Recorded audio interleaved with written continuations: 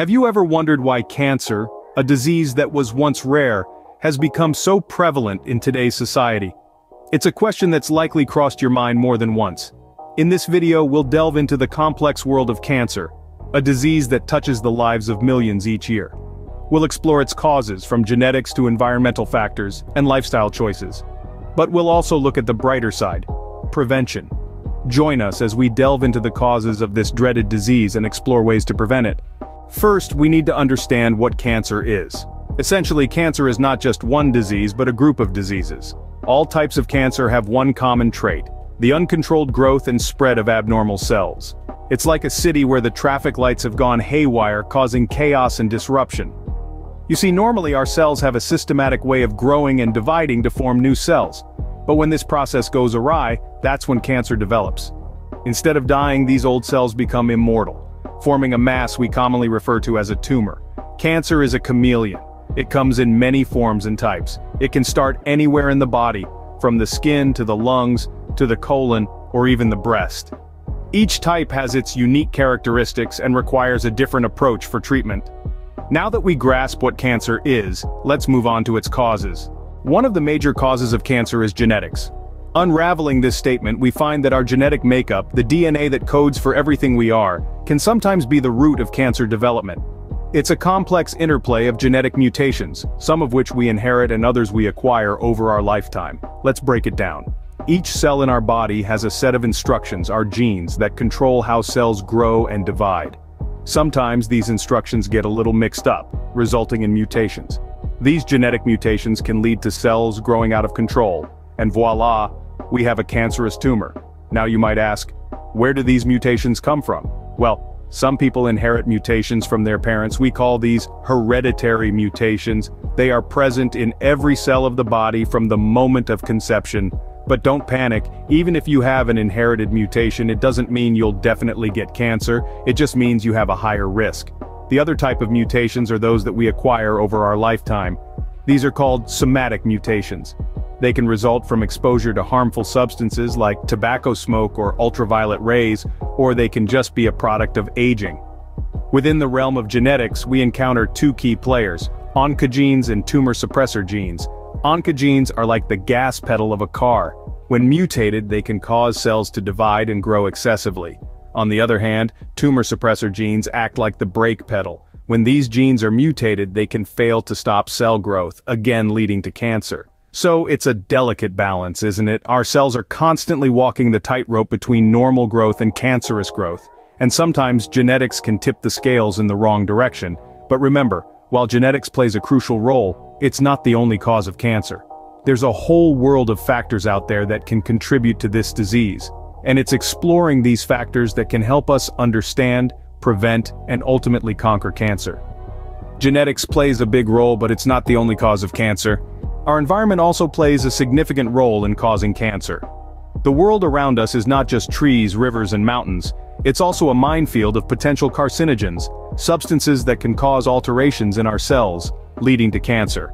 Let's consider tobacco smoke, a notorious offender in this regard.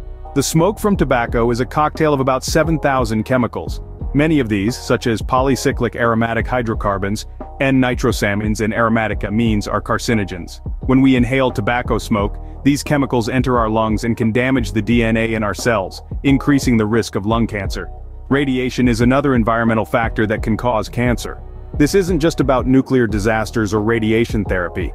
It's about everyday exposure from the sun's ultraviolet rays, or from radon gas seeping into homes from the soil. These types of radiation can damage our cells' DNA, increasing our risk of skin cancer and lung cancer respectively. Then there are certain chemicals, often found in workplaces, that can lead to cancer. For example, asbestos, used in construction materials, can cause lung cancer and mesothelioma, a rare form of cancer affecting the thin tissue lining of the body's internal organs. Similarly, benzene used in rubber, dyes, detergents, drugs, and pesticides is linked to leukemia and non-Hodgkin lymphoma. But amidst this gloomy picture, there's a ray of hope. We can control our exposure to these environmental factors. We can avoid smoking and secondhand smoke. We can protect ourselves from the sun's harmful rays and test our homes for radon. We can be mindful of our workplace safety, ensuring we're not exposed to harmful chemicals. In essence, while our environment can indeed be a minefield of potential carcinogens, it's also a landscape of prevention and control. We can't alter our genes, but we can certainly modify our interactions with the environment. While we can't control our genetics, we can control our exposure to these environmental factors. Our lifestyle choices can significantly influence our risk of developing cancer. And this isn't just a catchy phrase, it's a scientifically proven fact. Let's start with diet. Eating a balanced diet rich in fruits, vegetables, lean proteins, and whole grains can greatly reduce your risk of developing certain types of cancer. On the other hand, a diet high in processed foods, red meat and sugar can increase your risk. It's important to remember that no single food or food group can protect you completely. It's about the overall pattern of your diet. Next, let's talk about physical activity. Regular exercise is not just good for your heart, it's also a powerful cancer deterrent. It's recommended that adults engage in at least 30 minutes of moderate to vigorous physical activity, five days a week. This can be as simple as brisk walking, cycling, or even dancing. The key is to find something you enjoy and stick with it. Then, there's alcohol consumption. While an occasional glass of wine or beer isn't likely to significantly increase your cancer risk, regular and heavy drinking can. Alcohol can cause damage to body tissues and increase levels of certain hormones linked to cancer. If you choose to drink, moderation is key. Now let's touch on the relationship between obesity and cancer. Research has shown that being overweight or obese can increase your risk of developing many types of cancer. This is because excess body fat can lead to changes in the body that promote cancer growth, such as inflammation and high levels of certain hormones. It's crucial to remember that these lifestyle choices are within our control. We can choose to eat a healthy diet, to exercise regularly, to limit alcohol consumption, and to maintain a healthy weight. And while these choices alone can't guarantee cancer prevention, they can go a long way in reducing our overall risk. Making healthier lifestyle choices can significantly reduce our risk of developing cancer. And remember, it's never too late to start making healthier choices. Prevention is always better than cure, especially when it comes to cancer. Understanding how to take proactive measures against cancer can be a game changer. One of the most effective ways to prevent cancer is through regular screenings. Early detection of precancerous conditions or early-stage cancers dramatically increases the chances of successful treatment. So, schedule routine checkups with your healthcare provider and stay on top of any recommended screenings. Next, let's talk about diet. A healthy diet can be a powerful tool in the fight against cancer. Opt for a diet rich in fruits, vegetables, lean proteins, and whole grains. These foods are packed with antioxidants and other nutrients that help protect your cells from damage. Limit the intake of processed foods and red meats that are often high in unhealthy fats and additives. Exercise is another key component of cancer prevention. Regular physical activity helps maintain a healthy weight, which reduces the risk of several types of cancer. Aim for at least 30 minutes of moderate to intense activity each day. Whether it's a brisk walk, a yoga session, or a bike ride, find something you enjoy, and make it a part of your daily routine. Tobacco and alcohol are two of the most significant risk factors for many types of cancer. If you're a smoker, quitting is the best thing you can do for your health. It's never too late to quit, and the benefits start the moment you put out that last cigarette. Similarly, if you choose to drink alcohol, do so in moderation. Heavy drinking can lead to a variety of cancers, including those of the mouth, throat, and liver. In conclusion, embracing a healthy lifestyle can significantly reduce your risk of cancer. It's about making small, consistent changes to your everyday habits. It can be as simple as swapping out your afternoon soda for a glass of water, taking the stairs instead of the elevator, or making time for a quick workout during your lunch break. Preventing cancer might seem daunting, but it's definitely worth the effort. We've learned a lot about cancer today, but knowledge is only powerful if we use it. It's like owning a sports car but never taking it for a spin. The horsepower under the hood remains unutilized and the thrill of the drive unexperienced. So let's put the pedal to the metal and use what we've learned about cancer to drive our health in the right direction.